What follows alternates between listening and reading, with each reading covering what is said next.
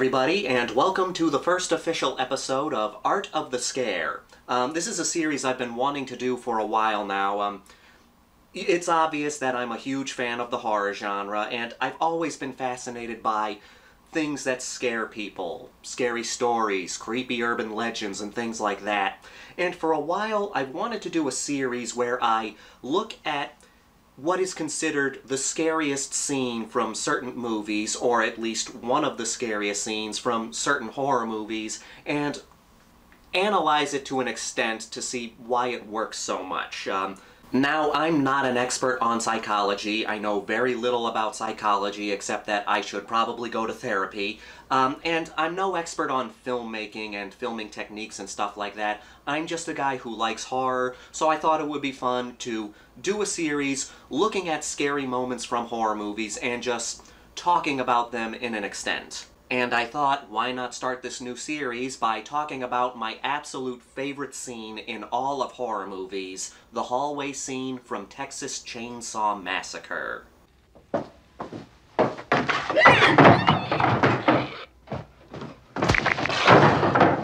Texas Chainsaw Massacre came out in 1974, and many people have considered it one of the scariest movies. And it's been said so many times that Texas Chainsaw Massacre has gone down as one of the bloodiest, goriest, most disturbing movies ever made, and you barely see any blood. Everything happens behind closed doors, and your mind fills in the blanks. Uh, that's been said many times about this movie, and Tobe Hooper was going for a PG rating when he was making this movie. Of course, he didn't get it. Keep in mind, that's 1970s PG, very different from modern day PG.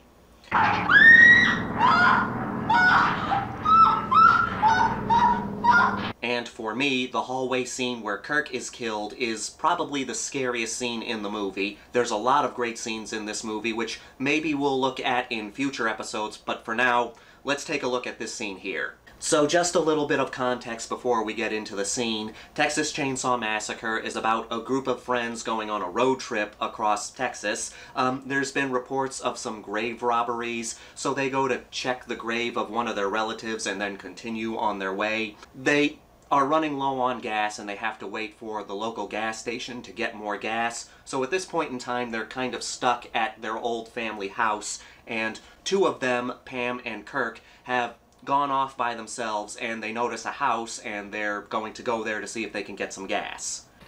I can leave them my guitar, you know, give them a couple bucks. We gotta come back by here anyway. I can pick up my guitar and give them a couple more dollars and bring them back some gas. It's a very simple setup. The first official scare we've had in this movie is the scene with the hitchhiker who's just this guy who's kind of off. And this scene, something mentioned earlier in this scene and before this scene, has a an element at play in the hallway scene here. With a sledge. See, that was better. They died better that way. So we look at this setting. Kirk is looking around in this house to try to see if there's somebody home to lend them some gas, and then he starts hearing this sound.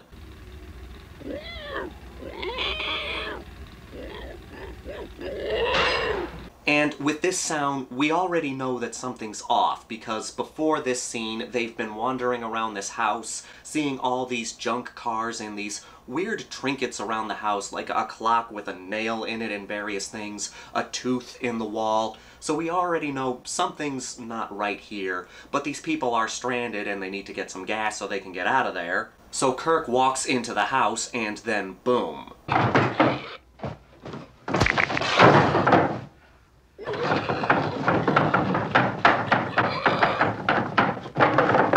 Few elements right away that I think makes this scene so effective. First is Kirk stumbling on the door. It takes our attention away from the door for a second, and then we, we see Leatherface step into the door frame. And the thing about Leatherface is he's so massive. Uh, Leatherface is of course played by Gunnar Hansen, and when you see him step into the doorway, he fills the door frame. He's so big, and that's one of the reasons why uh, Gunnar Hansen got the part because he was so massive. So we see Kurt stumble, and then we just see this huge man step into the door frame. And I love this quick point of view shot here where he's looking up at Leatherface because that quick point of view gives us a little glimpse at the last thing that Kirk ever sees. You know, the last thing that goes through Kirk's mind, and other than that sledgehammer, of course, is seeing this image in front of him. Just imagine that being the last thing you see before boom. And for me, a quick point of view shot of the victim just adds that extra element to the film. It's like, shit, this image is the last thing that this guy ever sees. And the other thing that makes this so effective is the scene starts off with that far shot, and then the first real close-up shots we get are Kirk looking up, and then that point of view shot of Leatherface, and then when the swing happens, it cuts to a far view again. Whereas most horror movies would focus on the hammer hitting the guy and the blood squirting out, this one goes farther away, so instead of focusing on the point of impact, we're focusing on the whole violent act as it's happening before us. Because when you think about it, when you see a violent act on the news or something like that, like in a news report or a video that's put on the internet of like security footage, you're seeing the violence from far away. And I think by seeing the violence from far away adds to a little bit of the realism because unless the violence is happening to you, you're mostly seeing the violence from a faraway point of view, and I think that works a little to an extent. Instead of getting close-up shots, we're seeing this scene how we would probably actually see it from farther away.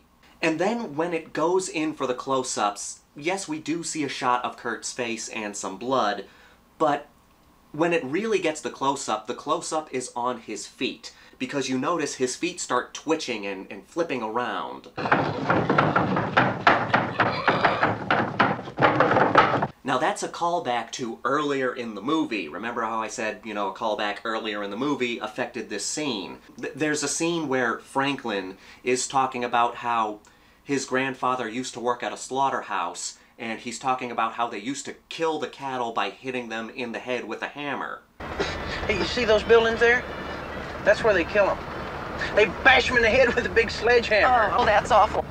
It usually wouldn't kill them on the first lick they'd start squealing and freaking out and everything, and they'd have to come up and bash them two or three times. And then sometimes it wouldn't kill them. I mean, they'd skin them sometimes even before they were even oh, dead. that's horrible. Yeah. People shouldn't kill animals for food. And then when we watch Kurt getting killed, he gets hit in the head and then his feet start twitching about. Now, hearing that that line from early on about the cattle and then seeing that happen here, it just makes the scene so much more creepy because, okay, we're seeing this human being having the same actions as a cow would in a slaughterhouse after getting hit in the head. And that's another element of, of subtext to this scene, because Texas Chainsaw Massacre is essentially about this family who used to work in the slaughterhouse industry, and then new, tex uh, new technologies resulted in them losing their job.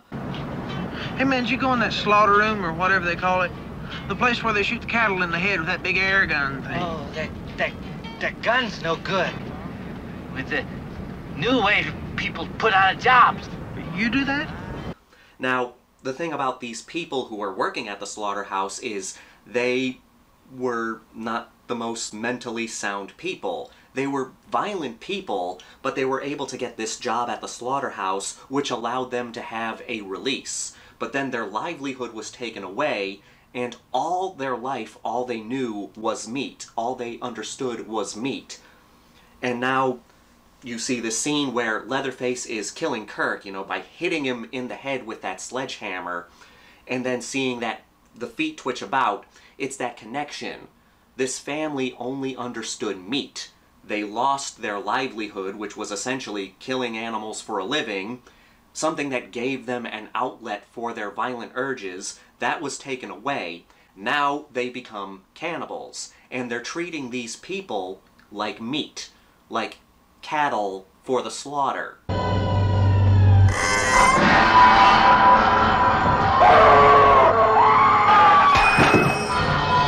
And for me, it's fascinating how something as simple as the thrashing about of feet after someone is hit in the head can make a kill so much gnarlier. You know, it's like the okay, those last death twitches. So you look at this, okay, like Kurt's doing those death twitches, he's essentially dead, but his body is not yet. you know, Kurt's dead, but his body is still kind of alive, and that's why it's having those death spasms, and just makes this moment all the more of a punch in the gut, or a sledgehammer to the head.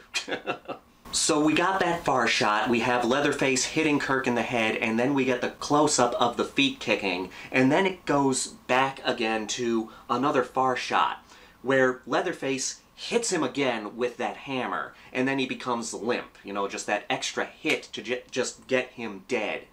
And then, this part, you know, like, looking at this scene again and watching Leatherface grab Kurt and drag him through that doorway,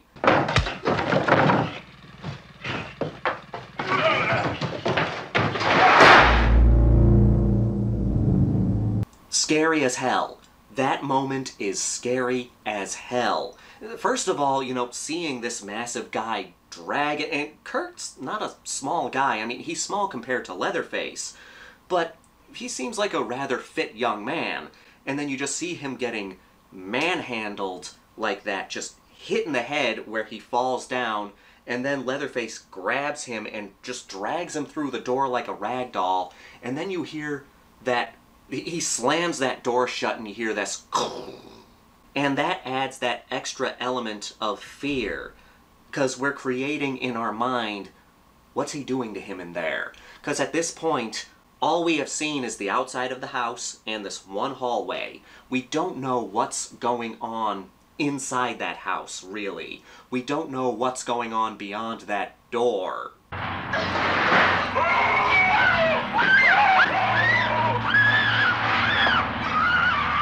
And the fact that it's taking place in daylight also adds to the terror. There's... Most horror movies, the scary stuff happens at night. There's a way to make daytime scary. And Texas Chainsaw Massacre seems to capture that just because there's just this grittiness to it and there's this dirtiness all around and you just don't feel right throughout the scene even though it's broad daylight. So all these elements put together, the fact that we see the last thing that Kurt ever sees, and it's this scary motherfucker, the focus on the feet after he gets killed, that callback to how cows react when they're hit in the head with a sledgehammer at a slaughterhouse, the fact that there's no real build-up to Leatherface and he just shows up, and of course that final moment where Leatherface grabs Kurt, drags him inside, and slams that door shut, all mixed together makes for my favorite scene in all of horror. For me, it's a perfect, scary scene.